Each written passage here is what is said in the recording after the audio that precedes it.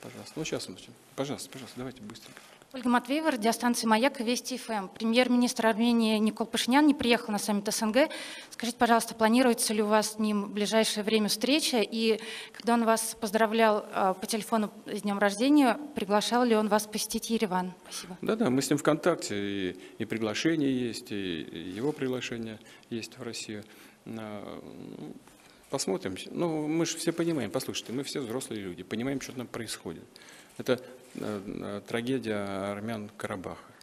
Ну, чего, ему, наверное, не, не до поездок сейчас. А, и, но мы в контакте остаемся, работаем с ним, э, постоянно на связи, поэтому ну, сложится нормальная обстановка. И я, и я к ним съезжу, они приедут, он приедет. У нас график работы есть соответствующий, выстроен. Все наши службы работают ВКонтакте, и МИД, и э, экономический блок правительства работает. Ну, работа не прекращается, работа идет. Все? А про день рождения можно удалось отметить, если не секрет, и как?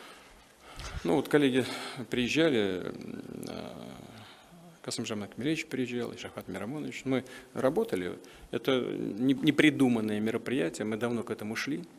Действительно, потому что в э, этом году, э, зимой, ну зимой прошлого года получилось, э, а, страны Средней Азии, и в том числе Узбекистан, столкнулись с очень тяжелой ситуацией. Там был минус 21, минус 24, вот как президент Мерзиев говорил.